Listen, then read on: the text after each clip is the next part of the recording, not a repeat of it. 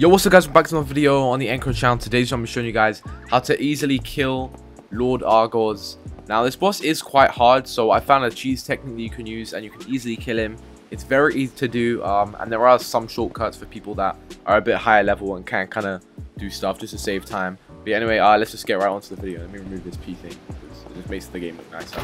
But anyway, uh, so as you guys can see here, the boss is. Now, depending on how good you are at this game, uh, it will kind of vary about how quick this boss will die. But basically, the requirements for this are you're going to need a magic that can do an explosion that you can like move. For example, I'll show you guys right here. I can move it on him, and then I can explode, and then it does damage, but I was a bit out of his range. Let me turn off this music real quick. But yeah, so what you're going to want to do is you want to first get his attention. So just hit him a couple times, whatever. Damn, this game is loud. Okay, I want to bring him over here. So bring him all the way to this room. I don't know why he keeps glitching and not getting locked on. But yeah, just find a way to bring him into this room. And then, uh, yeah, it's kind of the first step. So wait for him to do his dash attacks. Just keep waiting. There you go. Keep waiting for those. Okay, now he's in the room. Wait, not yet. He's close. Uh, if you can hurry up. Bro, why is he standing at the front door? Okay, he won't get in, bro. There we go. Finally. Okay. Once he's in, you've done the first step, and then the rest is just using that explosion move over and over again. So I showed you guys it before. I don't know what that weird beeping sound is, bro. This is what happens when I turn off FFX, I swear. But anyway, now that you got him in the room, now what you're going to want to do is you're going to want to use your explosion move. And you want to aim right around here because he actually is in the corner as we kind of just did. So now all you have to do is hold that explosion and then explode right there. And uh, yeah, I don't know whereabouts he is. Yeah, as you guys can see, it just did 75 damage. Um, he won't escape as long as you don't move too far to the left. You can move a bit to the left though. It'll be fine. But yeah, you want to just keep doing this. It'll do 75 damage. And I'm pretty sure this takes around, I say three to five minutes, I guess, to kill him.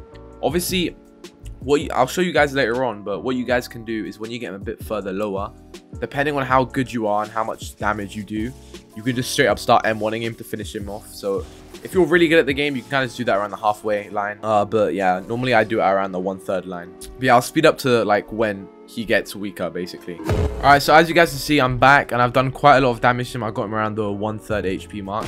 So what you can do now is, um, if you're around my level, you can just straight up go for the finish. So it's fairly, it's much quicker than just using the explosive, obviously. But yeah, he's already in a corner, which makes this so much easier. As you guys can see, he's on his last form. Just keep holding M1 in the corner, and then, uh, yeah, you should be able to kill him fairly easy.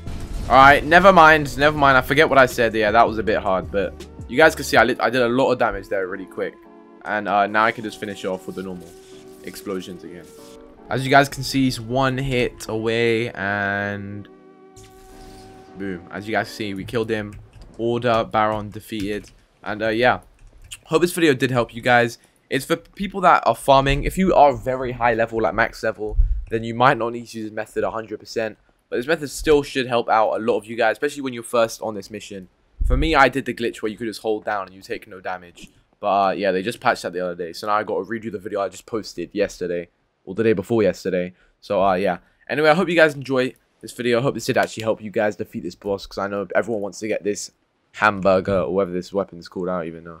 But uh, yeah, anyway, that's basically the video.